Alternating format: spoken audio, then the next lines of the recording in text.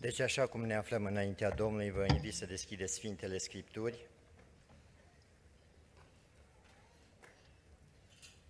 La 1 Corinteni,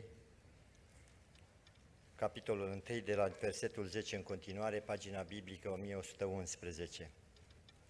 Să urmărim citirea pentru cei ce n-au luat cuvântul Domnului, probabil că pe viitor vă veți da silințele să luați cu voi Biblia. Vă îndemn, fraților, pentru numele Domnului nostru Isus Hristos să aveți toți același fel de vorbire, să nu aveți dezbinări între voi, ci să fiți uniți în chip de săvârșit într-un gând și o simțire. Căci, fraților, am aflat despre voi de la Ecloiei că între voi sunt certuri. Vreau să spun că fiecare din voi zice, eu sunt al lui Pavel, și eu sunt al lui Apollo, și eu al lui Chifa, și eu al lui Hristos. Hristos a fost împărțit Pavel a fost răstignit pentru voi sau în numele lui Pavel ați fost voi potezați. Amin. Vă invit să reocupați locurile.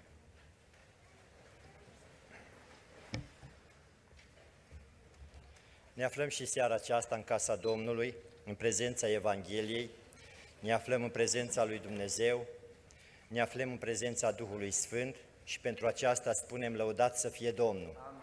El ne-a dat viața și ne-a ajutat ziua aceasta să fim în casa Domnului, fie de dimineață, fie acum seara, și pentru toate îi mulțumim lui Dumnezeu.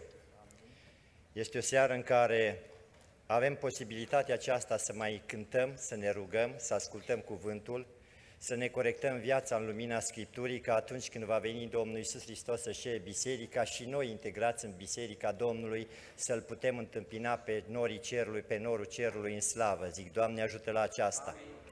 Până atunci, în călătoriile sale, Apostolul Pavel ne spune și ne scrie că în biserica din Corint au apărut ceva.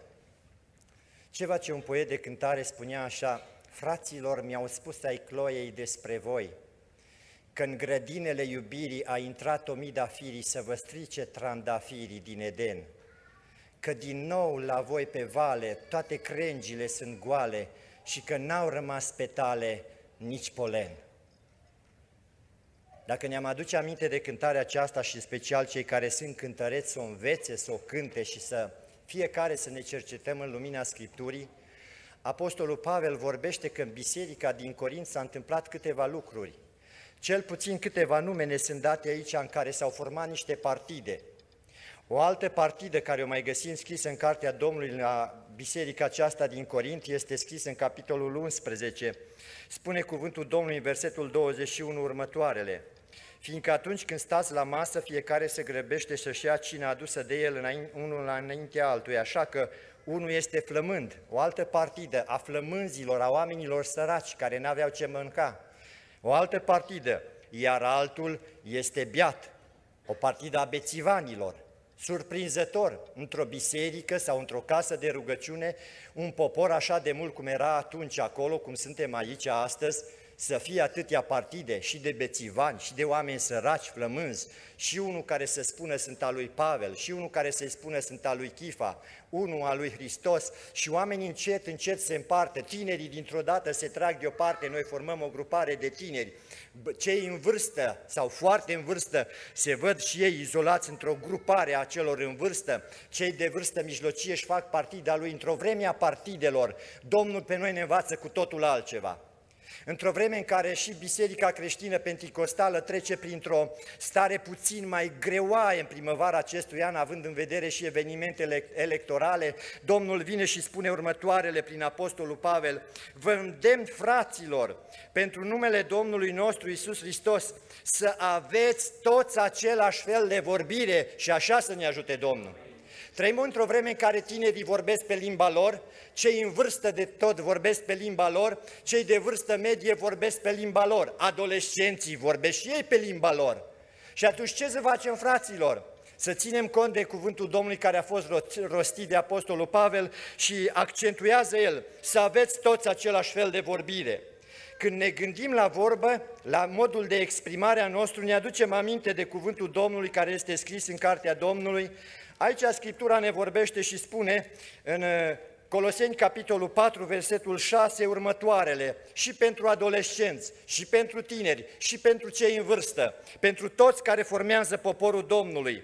Vorbirea voastră să fie totdeauna cu har, nu numai duminica la casa de rugăciune, nu numai o ziua când postești, totdeauna vorbirea să ne fie cu har, dreasă cu sare, ca să știți cum trebuie să răspundeți fiecăruia. Așa să ne ajute Domnul. Într-o vreme ca aceasta, când vorbirea nu mai este nici cu har, nici cu sare, Domnul ne cheamă pe toți să veghem asupra vorbirii noastre, asupra limbii noastre. O poezie spunea următoarele despre limbă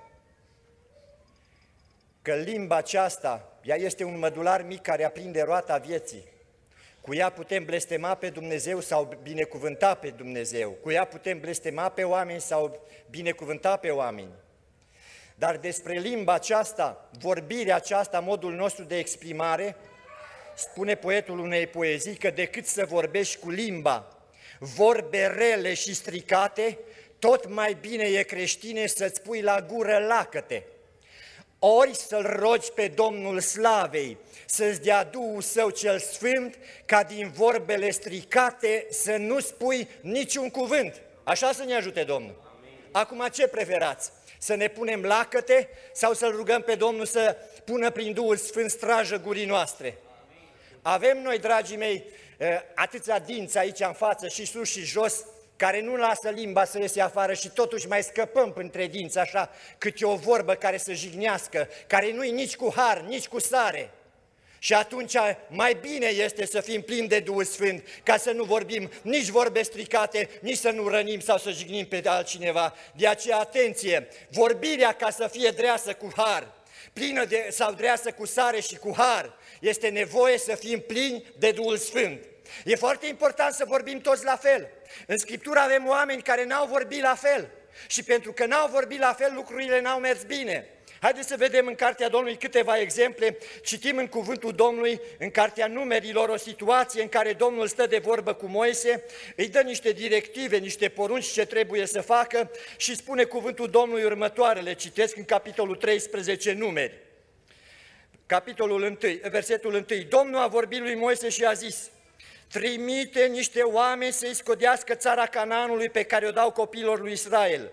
Să trimiți câte un om pentru fiecare din semințiile părinților, toți să fie dintre fruntașii lor.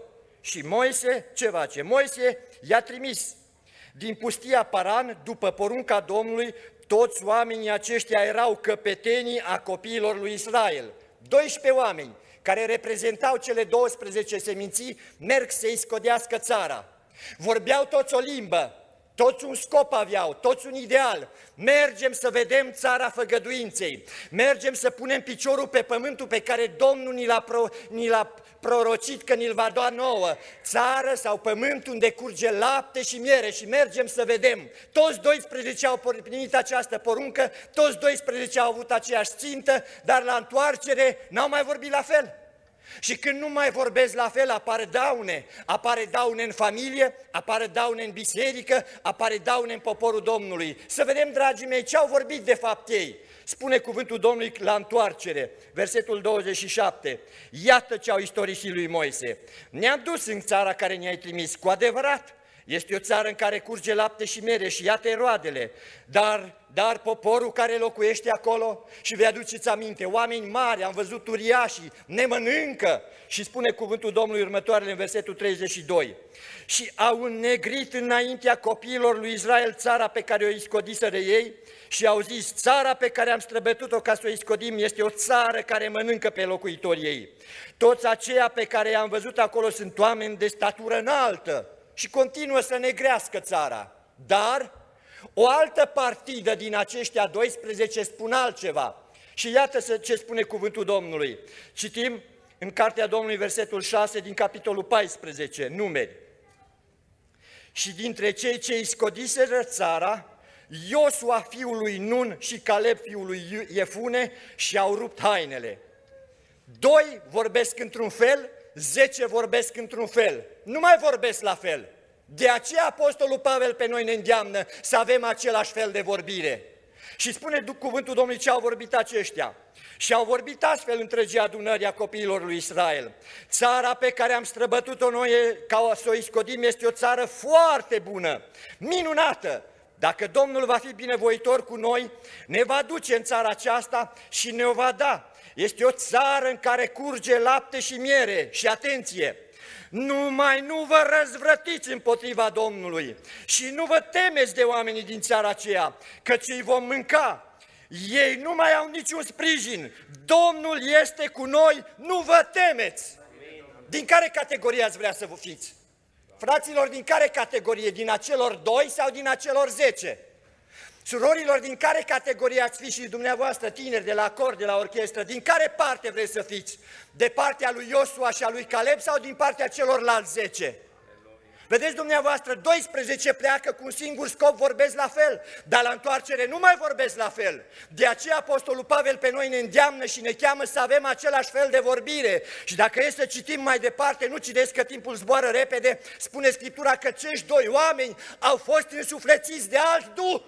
O, Doamne, însuflețește-ne prin Duhul Sfânt să vorbim la fel. Facem și o paranteză dacă vreți. Având în vedere momentul electoral care vă stă în față, de care oameni ați avea nevoie să fie în fruntea bisericii? Din cei 10 sau din cei doi? Dragii mei, vă rog rețineți ce spun cei doi, aceia însuflețiți de un alt duh, nu ca cei zece, de un duh care venea de la Domnul. Reciteți ce spun acești oameni și luați aminte, numai nu vă răzvrătiți împotriva Domnului. Toți care ne îndeamnă să nu păcătuim înaintea Domnului, care ne îndeamnă să ne temem de Domnul, aceștia sunt oameni care sunt însuflețiți de un alt Duh, nu de Duhul lumii, de Duhul lui Dumnezeu.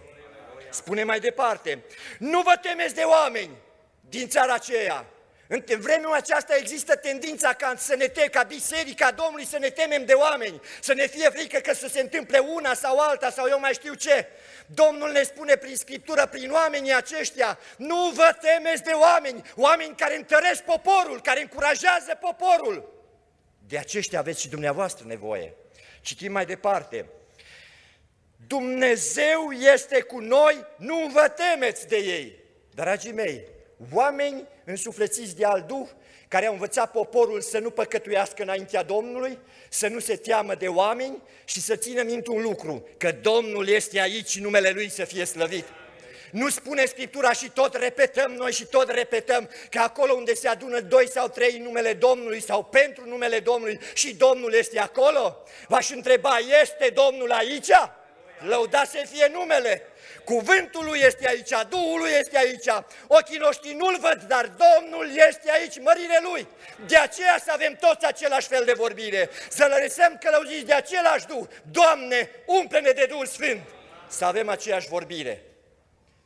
O altă situație găsim scris în cartea Domnului în Samuel, alți bărbați al lui Israel și nu oricine, de data aceasta iară vorbesc altfel, iară cum nu trebuie și spune cuvântul Domnului și aș dori să citez la 1 Samuel în capitolul 24, Vă aduceți aminte de David cum fugea prin munți de Saul, când într-o parte, când în alta, când pe un vârf de munte, când pe celălalt. În capitolul 24 spune cuvântul Domnului un lucru și la subiectul nostru, versetul 4, scrie. Oamenii lui David i-au zis, iată ziua în care Domnul îți zice, dau pe vrășmașul tău în mâinile tale, fă ce-ți va plăcea. David s-a sculat și a tăiat încet colțul hainei lui Sau. După aceea inima îi bătea pentru că tăiase colțul hainei lui Sau și a zis oamenilor săi. Ce au zis oamenii lui? Uite vrăjmașul, ziua în care îți dă Domnul vrăjmașul, ai ocazia, răzbună-te, lovește-l. Dar ce spune el? Și a zis oamenilor săi, să mă ferească Domnul să fac împotriva Domnului meu, care este unsul Domnului, o așa faptă ca să pun mâna pe el, căci este unsul Domnului. Cel îndemna oamenii din jurul lui, ucide-l, Isau, e vrășmașul tău, lovește-l.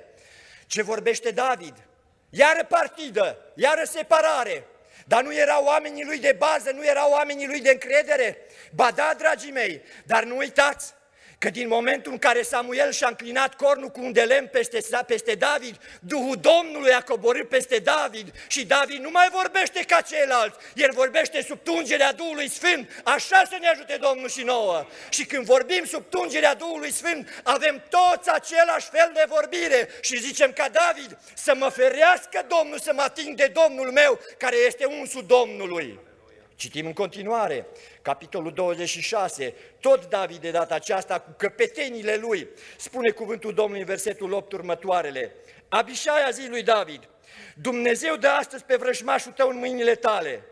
Nu te ocupa tu, fac o paranteză, nu te ocupa tu că mă ocup eu. Lasă-mă, te rog, să-l lovesc cu sulița mea și să-l pironez dintr-o lovitură în pământ, ca să n-am nevoie să-i mai dau alta. Asta au vorbit Abishai, una din căpetenile lui David.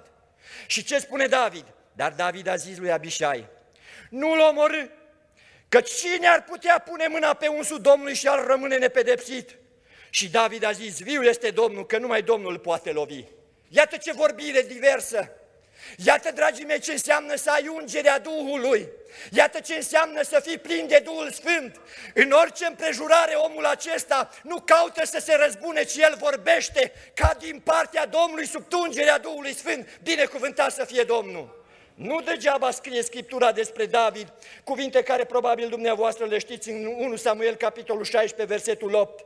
Când este prezentată biografia lui David, se spunea despre David, pe lângă faptul că el cânta bine, era tare, era voinic, era un războinic, citim în versetul 18 următoarele. Iată, am văzut pe un fiu al lui Șaibet Leimitu, care știe să cânte.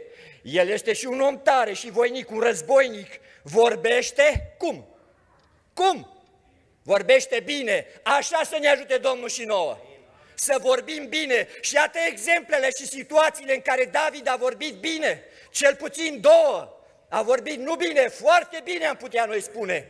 Și atunci când a păcătuit înaintea Domnului cu numărătoarea, cântărește David și zice, la cele trei pedepse care stăteau în față, vorbește iarăși bine, mai bine în mâinile Domnului decât în mâinile oamenilor. Asta înseamnă să avem toți același fel de vorbire, aceeași călăuzire a Duhului și în toate Domnul să ne ajute și să ne însoțească. Citim în Cartea Domnului în Noul Testament o situație din nou delicată în care Domnul Iisus Hristos cu ucenicii călătoreau pe pământul acesta și spune cuvântul Domnului în Luca, capitolul 9, următoarele, citim. Domnul Iisus și ucenicii, an de an cu El, mereu în misiune, mereu îi învăța ce trebuie să facă și ascultați ce se întâmplă. Citim în Luca, capitolul 9, câteva versete. Ajuns la Samaria, spune cuvântul, versetul 53, dar ei nu l-au primit, pentru că Iisus se îndrepta să meargă spre Ierusalim. Ucenicii săi Iacov și Ioan, când au văzut lucrul acesta, au zis, Doamne, vrei să poruncim să se pogoare foc din cer și să-i mistuie, cum a făcut Ilie? Iisus s-a întors spre ei, i-a certat și le-a zis, nu știți de ce duh sunteți însuflețiți. Iar n-au același fel de vorbire. Iar se creează partide. Fiul lui Dumnezeu, Domnul nostru Iisus Hristos și ucenicii îl urmează, sunt în școala uceniciei și când au văzut situația aceasta, gata repede la răzbunare, gata repede să ia atitudine. Știți ce spune Domnul? Citeți mai departe. Fiul omului a venit nu ca să piardă sufletele, ci să le mântuiască și au plecat în alt loc, slăvit să fie Domnul. Prin vorbirea noastră la fel, în unitate, nu vom căuta niciodată să ne ridicăm pe noi ca personalitate, nu vom căuta niciodată să căutăm popularitatea, nu vom căuta niciodată să ne răzbunăm pe cineva, să moară cineva, ci în toată vorbirea noastră căutăm ca cei nemântuiți sau cei pierduți să vină la mântuire, să găsească viața. Domnul să ne ajute la aceasta, să aveți dar același fel de vorbire. Pentru cel căzut între tâlhari mai este viață, să vină la Han. Pentru pentru fiul risipitor mai este viață, să vină în casa Tatălui. Asta înseamnă să avem toți același fel de vorbire. O, Doamne, cercetează-ne și pune noi același gând, aceeași vorbire, o vorbire duhovnicească ca cei din jurul nostru să cunoască că ființele noastre, mădularele noastre și chiar și limba, vorbirea noastră este sub tungerea și călăuzirea Duhului de viață. Binecuvântat să fie Domnul! Ai grijă! Ai grijă gură mică ce vorbești, căci Părintele de sus te aude neîncetat, ai grijă gură mică ce vorbești. Domnul Iisus, cu privire la vorbire, spunea, da al vostru să fie da și nu al vostru să fie nu. Ce trece peste aceste cuvinte vine de, cel, de la cel rău. De aceea, vegheați asupra vorbirii dumneavoastră. Căutați ca biserică să vorbiți toți la unison la fel, sub același Duh, însuflețiți de același Duh care vine de la Domnul. Doamne, revarsă-L peste biserică. Citim în continuare în cartea Domnului următoarele. Să aveți același fel de vorbire, să nu aveți dezbinări între voi, Asta e marea problemă a vremurilor noastre, atâtea partide în biserica din Corint, atâtea partide și în vremurile noastre. Prea iubiților, ca biserică a Domnului Isus Hristos, ea este una singură. Acolo nu sunt dezbinări, țineți minte. În biserica Domnului Isus Hristos nu sunt dezbinări. Dar totodată facem precizarea, în aceeași casă se naște și Abel, în aceeași casă se naște și Cain. Dar în aceeași casă, cel firesc cu cel duhovnicesc nu puteau deloc să trăiască. Și totdeauna cel firesc s-a ridicat împotriva celui duhovnicesc. Totdeauna cel firesc a făcut gălăgie împotriva celui duhovnicesc. Totdeauna cel firesc a ridicat mâna și a lovit de moarte pe Abel cel duhovnicesc. Prea iubiților, eu nu știu ce aveți dumneavoastră în inima dumneavoastră, dar îmi doresc să fiți oameni duhovnicești și Dumnezeu să vă binecuvânteze. Dragii mei, așa s-au petrecut lucrurile cu Cain și Abel. Aduceți-vă aminte cu alți doi frați, unul pe nume Esau și celălalt Iacov. Au putut ei vreodată să stea împreună? Niciodată. Numai după ce au crescut mari, se întâmplă acele evenimente cu acel blid de linte, se întâmplă acel eveniment cu binecuvântarea și din momentele acelea, între cei doi nu mai există unitate. Pentru că totdeauna cel firesc va prigoni pe, pe cel duhovnicesc și toți care vor să trăiască cu evlavie în Hristos vor fi prigoniți și Biserica Domnului Isus, care vrea să trăiască cu evlavie în Hristos și trăiește prin Domnul Isus Hristos, va fi prigonită. Dacă nu-i de autorități, va fi prigonită de Esau. Dacă nu-i de Esau, va fi prigonită de Cain. Dacă nu-i de Cain, va fi prigonită de Saul. Dar în orice vreme, totdeauna întotdeauna va fi un firesc care se va ridica împotriva celui dovnicesc. Ce este de făcut atunci? Să ne apropiem de Domnul care să schimbe inimile tuturora, ca biserica Efrata din Făget să fie alcătuită din oameni, din persoane duhovnicești, de la cel mai mic până la cel mai mare. Doamne, schimbă gândirea, schimbă inima fiecăruia. Citim în Cartea Domnului în Proverbe, și fiecare să se cerceteze pe sine însuși în capitolul 18, cu în versetul 1 spune următoarele. Cel ursuz caută ce îi place lui, se supără pe orice lucru bun. Și sunt și din aceștia și îi vezi că se separă de biserică. Dacă evangelizare, nu-i bun pe cine o, trimi, pe cine o chemat. Dacă cântă orchestra, nu-i bun că cântă orchestra. Dacă nu cântă, iar nu-i bun că nu cântă. Dacă e stăruință, nu-i bun că e numai o oră. Dacă e trei ore, e prea mult. Și cel ursuz caută numai ce îi place lui. O, Doamne, scapă-ne de Duhul acesta de ursuz. Cei care fac dezbinare și Biblia spune așa, să nu aveți dezbinări între voi, știți cine sunt? Hai să citim. În cartea Domnului Niuda ne vorbește omul acesta că ucenicii Domnului de la început au vorbit despre momente din acestea și citim astfel în versetul 17. Dar voi, dar voi prea iubiților, aduceți-vă aminte de vorbele, cuvintele vestite mai dinainte de apostolii Domnului nostru Isus Hristos. Cum vă spuneau, că în vremurile din urmă vor fi bajocoritori care vor trăi după poftele lor nelegiuite. Cine? Bajocoritorii. Rețineți! Ei sunt aceia care dau naștere la dezbinări. Și aici spune Scriptura să nu aveți dezbinări între voi. Oricine caută să facă dezbinare la Efrata, la Betel, la Betania, oriunde în altă casă de rugăciune, știți ce este cu el? Citesc, spune cuvântul Domnului, oamenii aceștia sunt supuși poftelor firii care nu au Duhul. Țineți minte, oricine caută dezbinare, Oricine care caută să aducă separare în poporul lui Dumnezeu este un om care nu este călăuzit de Duhul Sfânt. Așa a fost Cain. Domnul îi spune, Caine, ce vrei să faci? unde e fratele tău? Dar ce sunt eu păzitorul lui? Dar ce mă interesează pe mine? Așa sunt oamenii care fac dezbinare. Esau, la fel. Saul, la fel. Și în vremea aceasta și în vremurile care vor mai veni, păziți-vă, dragii mei, să nu fiți oameni ai dezbinării, ci oameni ai păcii. Dumnezeu să vă ajute. Biserica Domnului, în cadrul ei, nu are astfel de oameni bajocoritori care să producă dezbinare. Biserica Domnului este alcătuită dintr-un singur trup și unii cu alții formăm mădulare în trupul Domnului Isus Hristos, legați prin acea legătură numită dragoste divină, cum spune cântarea, dragoste divină sfântă, să ne binecuvânteze Domnul cu ea.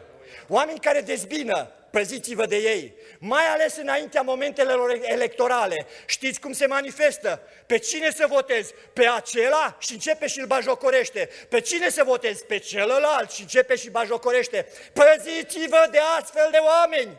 Nu contribuie la zidirea bisericii, ba mai degrabă la dezbinare. Și Scriptura în seara aceasta ne spune să nu aveți dezbinări între voi. Să ne ajute Domnul.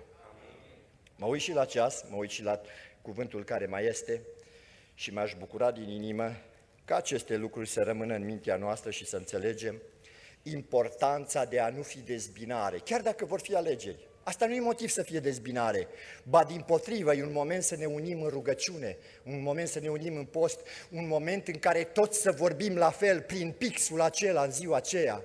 Aduceți-vă aminte ce s-a întâmplat pe vremea Domnului Isus Hristos. Haideți să citim în Cartea Domnului Făcând o paranteză la aspectul acesta electoral, Luca, capitolul 6, spune cuvântul Domnului, versetul 12. În zilele acelea, Iisus a dus în munte să se roage și a petrecut toată noaptea în rugăciune. O noapte în rugăciune. Faceți la fel. Faceți la fel, având în vedere momentul electoral, pentru că uitați ce face. Și Domnul are un moment electoral aici. Și citim versetul 13.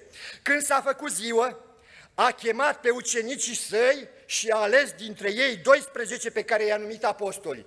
Domnul Iisus n-a avut numai 12 apostoli, eh, numai 12 ucenici. Domnul Iisus a avut o mulțime de ucenici care erau în jurul lui. A avut și femei care erau în jurul lui și îl slujeau. Dar își cheamă ucenicii la el după o noapte de rugăciune și din mulțimea aceea își alege 12 și le dă sărcinarea despre care mai aminteam și la cina Domnului, să meargă, să propovăduiască, să vindece bolnavii, să învieze morții, să elibereze oamenii de, dia, de posedările demonice. Dar nu numai atât. Sunt foarte mulți care se oftică foarte tare și devin supărăcios și ursus. Pe mine nu m-am ales în comitet, vai, ce le fac eu? Nu mai merg la adunare, plec din biserică în biserică. Pe oamenii aceștia i-am numit vagabonzi penticostali, care nu știu să stea sub supunere în biserică. Fraților, stați puțin! Nu trebuie să faceți dezbinare când ați ajuns în comitet. Nu trebuie să faceți dezbinare când nu ați fost aleși. Din potrivă, luați aminte. Domnul din mulțime și alege 12. Dar hai să citim ce spune cuvântul Domnului mai departe. În cartea Domnului noi mai găsim scris câteva lucruri. Că după acest moment Domnul Iisus Hristos cheamă la sine încă 70 de ucenici. Îi cheamă sau nu-i cheamă? Îi lasă 12 deoparte. Ăștia pentru o chemare cei mai aproape de mine. Dacă vreți termenul de azi, facem un comitet lărgit mare de tot, 70 deodată. Și la ăștia 70 chiar dacă n-a fost în prima echipă, le dă și lor însărcinarea. Mergeți, propovăduiți Evanghelia și voi, doi câte doi. Mergeți și vindecați bolnavi și voi. Mergeți și scoate dragi și voi. Mergeți și faceți și voi oamenilor să audă Evanghelia. Și au plecat și ei doi câte doi. Știți că s-au dus 70 pe o parte, 12 pe alta. Când s-au întors, care echipă a zis, Doamne, până și dracii ne sunt supuși? Care echipă a zis? Cei 70. Iată că Domnul îi bagă în seamă și pe aceia care nu au intrat în comitet. Îi trimite și pe ei, formează alte echipe, dar toate le formează Domnul Isus, nu pleacă ei de capul lor. Domnul Isus îi coordonează pe cei 12, Doi cu Domnul Isus îi coordonează pe cei 70, Domnul Isus îi însărcinează să plece în misiune, pentru ca să nu se producă instabilitate, de aceea fiți înțelepți și stați la dispoziția Domnului și în urma alegerii făcute de Domnul prin popor, Dumnezeu va găsi locul fiecăruia în lucrare. Aveți credință în Dumnezeu. și aveți credință în Evanghelie și o să vedeți cum Domnul binecuvântează biserica. Să nu aveți dezbinări între voi. Un moment electoral nu înseamnă dezbinare, din potrivă, unitate. Înseamnă că dacă se mai formează o echipă, rămânem și noi sub a doua echipă, sub cârmuirea Domnului, prin păstorii bisericii și mergem unde ne trimit.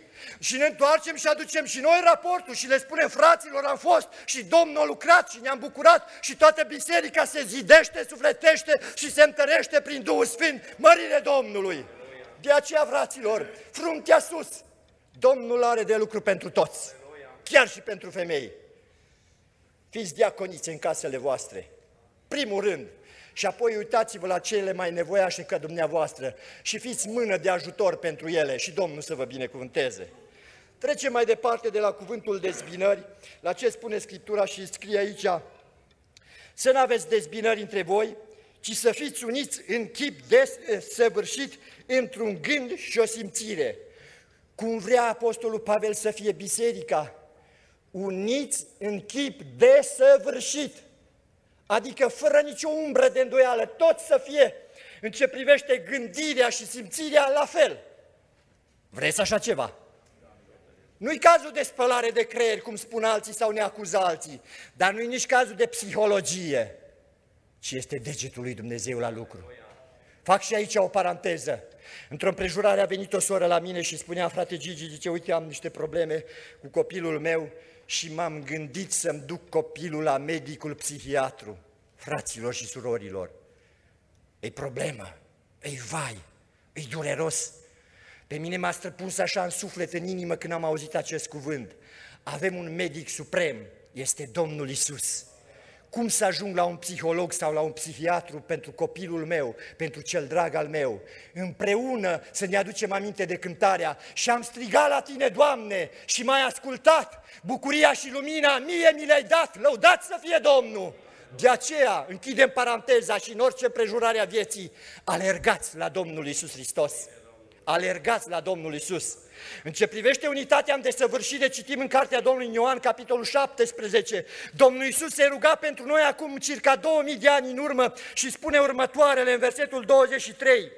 Eu în ei și tu în mine în rugăciunea Lui către Tatăl, pentru ca ei să fie în chip desăvârșit una, Doamne ajută-ne!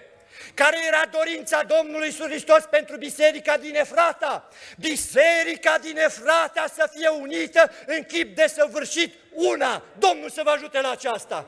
Atunci și surorile vor gândi ca frații, și frații ca și coriștii, și slujitorii ca toată biserica, căci capul este Domnul Isus Hristos, numele Lui să fie lăudat.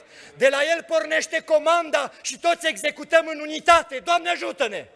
Și continui să citesc ca să cunoască lumea că Tu m-ai trimis și că i-ai iubit cum m-ai iubit pe mine. Acolo unde este unitate desăvârșită sunt două aspecte. Lumea cunoaște că suntem iubiți de Domnul și noi în dreptul nostru cunoaștem că El ne iubește datorită unității desăvârșite care o face între noi. Și aceasta o face numai mâna sfântă a Domnului Isus Hristos, care doresc să rămână în Biserica Efrata care să cerceteze fiecare conștiință, fiecare inimă, fiecare gând. El este acela care desparte măduva de oase, care pătrunde și cercetează rărunchii. El, Domnul, să aducă fiecare gând, fiecare simțire, fiecare suflet la desăvârșire. Doamne, ajută-ne! Dacă și Domnul s-a rugat, credem în rugăciunea Domnului Isus? Dorim să se realizeze lucrul acesta? Hai să vă pun o întrebare, fraților și surorilor. Nu trebuie să răspundeți, dar gândiți-vă bine. Câți dintre dumneavoastră v-ați rugat și vă rugați, Doamne, întreagă biserica aceasta, ajută-ne să fim uniți în chip de săvârșit. Nu știu, probabil și aici mai cântă frații cântarea aceea, suntem o familie unită. Probabil, nu știu, dar cred că se cunoaște, da, frate Liviu, se cunoaște. Ei, unită, dar în chip de săvârșit, nu numai pe jumătate. Așa să ne ajute Domnul. Și apoi când cântăm cântarea, Harul Domnului ne copleșește pe toți, lăsăm microfoanele jos și cântă toată biserica și cerul privește spre biserică și Domnul dă har după har peste fiecare dintre noi în locul acesta. Slăvit să fie Domnul! Doamne, ajută-ne să fim uniți în chip de săvârșit. Uniți în chip de săvârșit înseamnă începând deja cu vorbirea. Protejându-ne de dezbinări, ne ferim de cei care fac dezbinări, nu avem nevoie de ei. Noi căutăm unitatea, nu separarea. Noi căutăm să fim uniți și aici spune cuvântul Domnului într-un gând și într-o simțire. Cu privire la gândul nostru, ce gânduri ne frământă? Unul vrea o casă, unul vrea o mașină, o fată vrea să se căsătorească, un băiat a pus ochii pe altă fată, vrea să o ia de soție, altul vrea să încheie legământ cu Domnul. Totuși, Scriptura ne vorbește despre a fi uniți în gând. Și citim în Cartea Domnului despre momentele acestea pe care Domnul dorește să le realizăm. Spune aici Scripturile uh, în Cartea Filipenilor, în capitolul 2, următoarele, versetul 5. Să aveți în voi gândul acesta care era și în Hristos Iisus. Pavel ne și învață cum să avem același fel de gândire. Eu niciodată nu o să mă pot raporta la un băiat care se uită la o fată să am același gând cu el. Dar aici nu e vorba despre lucrurile acestea pământești de pe pământul acesta, trecătoare, odată cu întrebuințarea lor. Aici Domnul se referă la cele veșnice, la împărăția lui Dumnezeu care pornește din lăuntru nostru. Ce gând avea Domnul Iisus Hristos? Pentru că El este capul. Ce gând trebuie să aibă îngerul bisericii din Efrata? Ce gând trebuie să aibă oile din, din turma Domnului Iisus Hristos de la Efrata? Citesc, să aveți în voi gândul acesta care era și în Hristos Iisus. El măcar că avea chipul lui Dumnezeu, totuși n-a crezut ca un lucru de apucat să fie deopotrivă cu Dumnezeu. Măcar că avea chipul lui Dumnezeu. Știți ce a zis diavolul într-o prejurare? Am să mă ridic, am să mă așez scaunul printre stele, pe acolo, până voi fi ca Domnul. Asta a fost diavolul.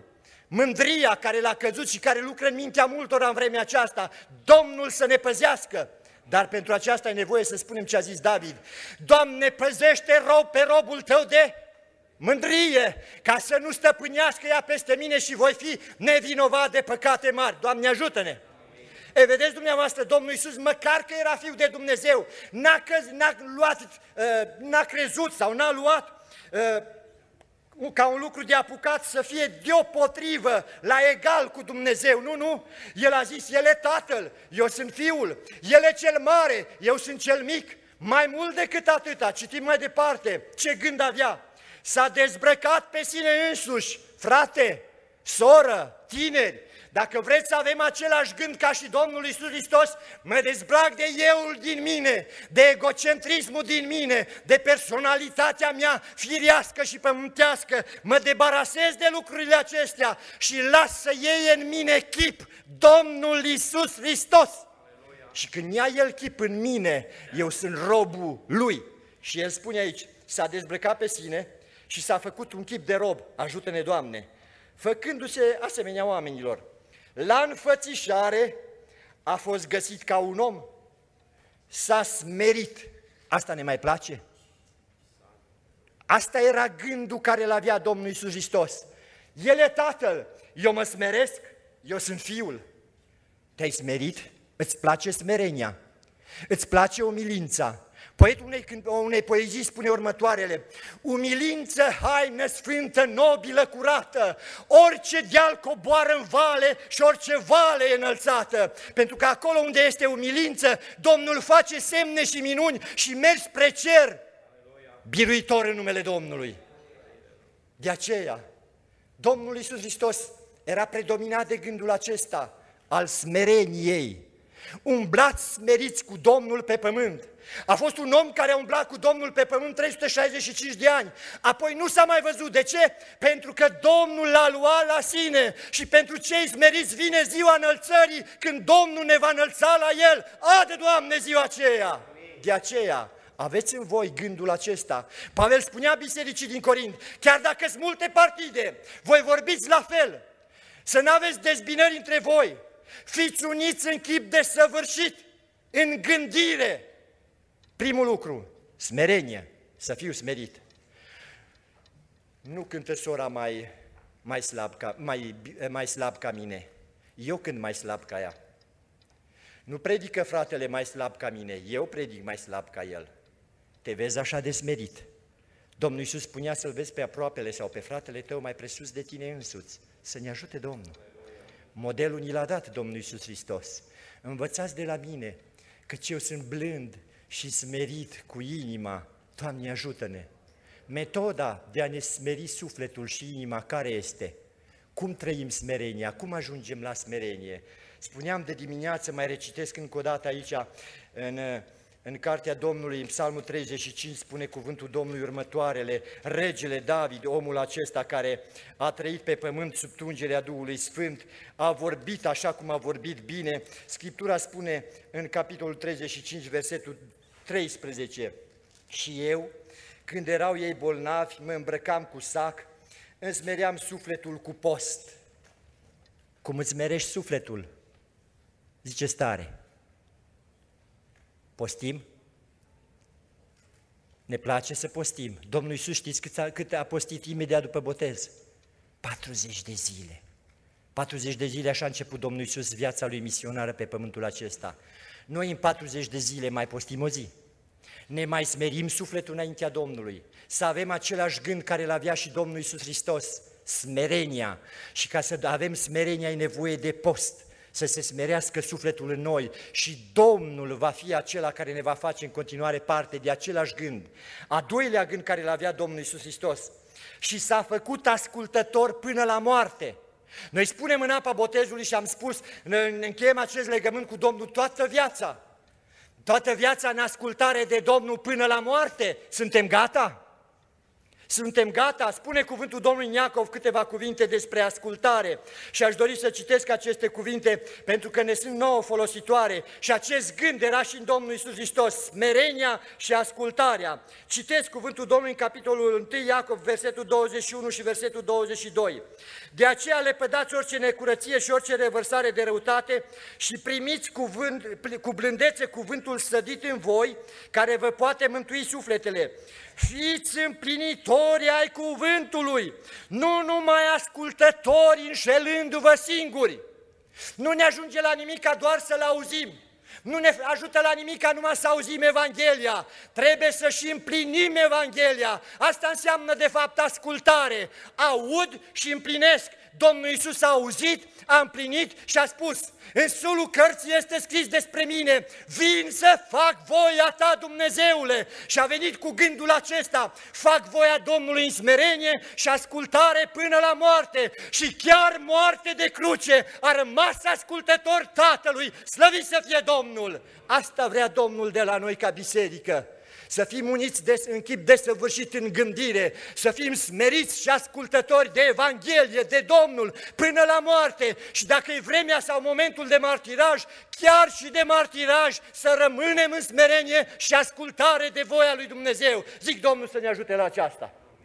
Al treilea lucru, sau al patrulea lucru, să fim uniți în chip desăvârșiți și într-o simțire. Doamne, ajută-ne! Simțirea lasă mult de dorit. Simțirea aceasta ne creează de multe ori probleme. Hai să vedem ce spune cuvântul Domnului. În Cartea Domnului la Romani spune Scripturile câteva cuvinte pe care aș dori să le citesc. În capitolul 12, versetul 15 spune astfel, Bucurați-vă cu cei ce se bucură. Este un botez. Ne bucurăm cu toții, cu ei împreună. Este o căsătorie. Nu se bucură numai cele două perechi de familii, ne bucurăm și noi ca biserică, asta înseamnă să simți cu ei. Asta înseamnă să fii părtaș la bucurie. Își iau un frate, un Mercedes, ultimul model, ne bucurăm cu toții, probabil o să ne care și pe noi cu el în misiune. Nu-i problemă, slăvi să fie Domnul. Și dacă nu, ne ia Domnul în carul lui Ilie și tot ne duce. Dacă unul și-o face o casă, murim de invidie. Asta e simțămintul. Ei, dragii mei, nu așa vrea Domnul să crăpăm de invidie ci vrea să ne bucurăm cu cel ce se bucură că Domnul a ajutat să-și ridice o casă, să se căsătorească, sau primit al șaselea copil în familie, toți se bucură, să ne bucurăm cu toții, să fim uniți în chip desăvârșit și în simțire. Doamne ajută-ne! Citesc mai departe. Plângeți cu cei ce plâng. Este un frate sau o persoană în spital, este bolnavă, este în suferință, este în sărăcie ca cei din, din Corint, n-au ce mânca. Hai să simțim cu El. Hai să-i dăm din timpul nostru, din banul nostru, din delemnul nostru, din vinul nostru. să simțim cu El, să fim alături de El.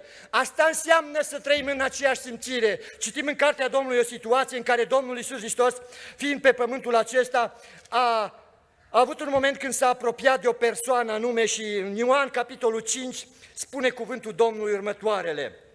În Ierusalim, la poarta oilor, versetul 2, era o scăldătoare numită în evreiește Betesda, care are cinci pridvoare. Și acolo se adunau, bine știți, șchiopi, orci, ologi, căci un înger a Domnului se pogora din când în când în scăldătoare și tulbura apa. Acolo, versetul 5, se afla un om bolnav de 38 de ani. Iisus când l-a văzut zăcând și fiindcă știa că este bolnav de multă vreme, i-a zis, vrei să te faci sănătos? Asta înseamnă să simți cu el, cu cel bolnav. Te duci la el și spui, vrei să te faci sănătos? Te duci și îl vizitezi la spital sau acasă, vrei să te faci sănătos, te pot ajuta cu ceva, îmi dai voie să te ajut cu ceva. Și spune cuvântul Domnului în versetul 7, Doamne, i-a răspuns bolnavul, n-am pe nimeni să mă bage în scăldătoare când se tulbură apa. Nimeni nu simțea cu el. Tată, nu scrie Scriptura că era lângă el. Mama nu spune Scriptura că era lângă el vecini, prieteni n-avea, singur pe lume, nimeni nu simțea cu el. Și te vezi de multe ori singur în lumea aceasta. Te vezi de multe ori singur în poporul acesta. Te vezi de multe ori datorită bolii tale singur. Fie ca fiu risipitor la turma cu porci, fie ca bolnavul acesta departe de toți ceilalți, deși era printre ei. Ține minte un lucru. Cel care simte pentru tine este Domnul Isus Hristos, Fiul lui Dumnezeu și El vrea ca și biserica Lui să simtă pentru tine. N-ai ajuns să guși mântuirea, nu știi ce înseamnă viața veșnică. Unii te trag într-o parte, alții în alta, nu simt nimic pentru tine. Cel ce simte pentru tine în vederea mântuirii tale și a vieții tale este Domnul Isus Hristos. De aceea veniți la El toți cei trudiți și împovărați, că e unicul care simte adevărat și real pentru tine. Numele Lui să fie binecuvântat. Știți ce spune cuvântul Domnului în Geneza? În Cartea Domnului, capitolul 15, Domnul stătea de vorbă cu poporul Israel prin Moise și îi transmite un cuvânt frumos pentru el, dar totodată real și pentru noi. Aici Domnul vorbește și spune următoarele în versetul 26. El a zis, Domnul, dacă vei asculta cu luarea minte glasul Domnului Dumnezeului tău, dacă vei asculta de dacă vei asculta de Domnului Dumnezeului tău, dacă vei asculta de poruncile Lui și dacă vei păzi toate legile Lui și dacă vei păzi toate legile Lui, nu te voi lovi cu niciuna din bolile cu care am lovit pe egipteni. Punct și virgulă, căci eu sunt Domnul care te vindecă. Știți lucrul acesta? Cel care simte cu tine are puterea să te vindece. Și acesta este Domnul Isus Hristos. A fost acela care a declarat aceste cuvinte în fața poporului lui Israel și cuvintele lui sunt reale și valabile și în ziua de astăzi. Slăbănog, bolnav, fără de nimeni. Cel care te poate vindeca este acela care simte pentru tine. Numele Lui este Domnul Isus Hristos, slăvit să fie numele. Și Apostolul Pavel vorbea bisericii și spunea lucrurile acestea, să avem într-un chip desăvârșit aceeași simțire ca Domnul nostru. El capul, simte cu cel care este căzut, simte cu cel care este singur și biserica Domnului simte la fel căci viața o primește de la Domnul. Simțurile le primește de la Domnul, gândirea de la El vine, vorbirea de la El vine și în toate se dovedește unitatea desăvârșită. Doamne, fă-ne parte de ea! Vedeți dumneavoastră, Domnul Iisus Hristos, care simte pentru acest lăbănog, se întâlnește peste câtva timp cu El și în seara aceasta vreau să-ți aduc aminte cuvintele Domnului Isus care a simțit odată pentru tine și astăzi simte încă o dată. Ține minte ce a spus Domnul Isus atunci, e valabil pentru dumneatale, ascultătorule dragă. Spune cuvântul Domnului astfel în versetul 14. După aceea Isus l-a găsit la templu și a zis, iată că te-ai făcut sănătos. De acum să nu mai păcătuiești, ca să nu ți se întâmple ceva mai rău. Fiți foarte atenți! Astăzi Domnul simte pentru tine, dar plecând acasă să nu mai păcătuiești, să nu mai păcătuiești, să fii unit cu biserica în gândire, în simțire, în vorbire și în, în echip de săvârșit și Dumnezeu să ne ajute.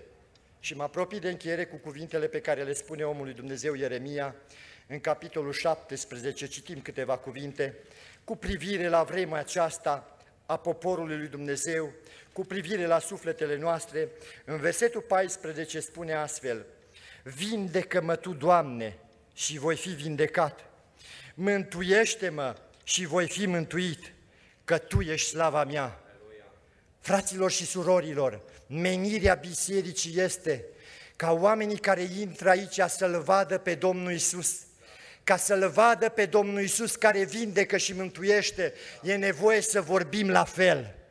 E nevoie să nu avem dezbinări între noi, să fim uniți în tip de săvârșit, în gândire și în simțire, ca cel ce intră aici să găsească vindecarea în numele Domnului și mântuirea, că El este slava noastră, numele Lui să fie binecuvântat.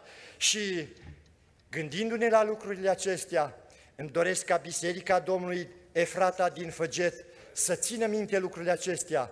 Suntem chemați să fim o familie unită, familia sfântă a Domnului Isus Hristos, familia care stă în unitate, familia care simte cu cel căzut, familia care simte cu cel binecuvântat, familia care gândește în smerenie, în modestie și în ascultare de Domnul și familia care vorbește sub tungerea Duhului Sfânt. Și acolo unde este o astfel de unitate, se realizează acele frumoase cuvinte a Bisericii Primare scrise în Faptele Apostolilor, capitolul 9 cu dorința să fie o realitate pentru biserica din loc unde cuvântul Domnului spune așa, biserica se bucura de pace în toată Iudeea, Galileea și Samaria, se întărea sufletește, umbla în frica Domnului și cu ajutorul Duhului Sfânt se înmulțea. Dumnezeu să ne binecuvânteze și El să ne înmulțească. Amin.